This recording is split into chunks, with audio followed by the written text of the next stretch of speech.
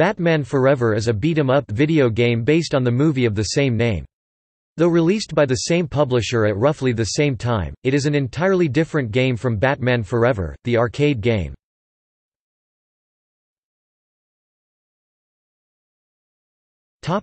Gameplay The player plays as either Batman or Robin. There is also a fighting game mode called Training Mode, where the player can play as Batman, Robin, or any of the enemies found throughout the game against either a computer-controlled opponent, against a second player, or cooperatively against two computer opponents. The controls are largely based on move lists and key sequences. Some gadget moves involve moving away from the enemy right before pressing a punch or kick button. The gadget list is selected by the player each level, with three standard gadgets for each character and two gadgets selected from a list. There are also four hidden blueprint gadgets. There are two kinds of co-op modes in Batman Forever. Players chose between Batman or Robin.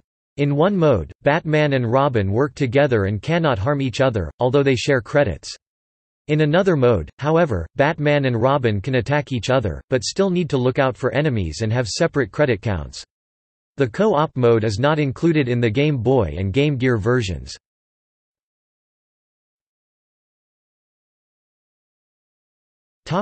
Version differences The Super NES and Genesis – Mega Drive versions of the game are very similar.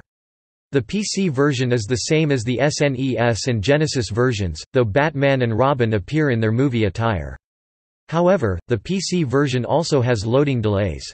The Game Boy and Game Gear versions do away with a majority of the puzzle solving of the SNES, PC and Genesis versions and opt for a more traditional platform fighting game.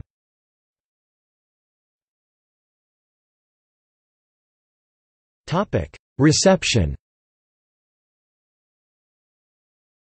The four reviewers of Electronic Gaming Monthly praised the Game Gear version as having graphics that are virtually identical to those of the Genesis and Super NES version, but overall dismissed the game due to poor controls, explaining that, "...punching enemies is nothing more than a delayed sequence that continues well after the enemy is dead."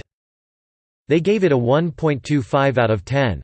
GamePro also gave it a negative review. They remarked that the graphics are technically impressive but dull due to their lack of on-screen objects and interesting backgrounds, and concluded that, "...the sluggish gameplay, mediocre graphics, and weak sounds really kick this cart to the bat curb." GamePro panned the Super NES version as the worst of the Super NES Batman games. They dismissed the training mode as lacking the winning elements of a decent fighting game. Commenting on the normal mode, they criticized the frustrating difficulty, particularly the lack of continues and the time limit in the third stage, and stated that the digitized sprites were done well but clash with the washed-out background graphics.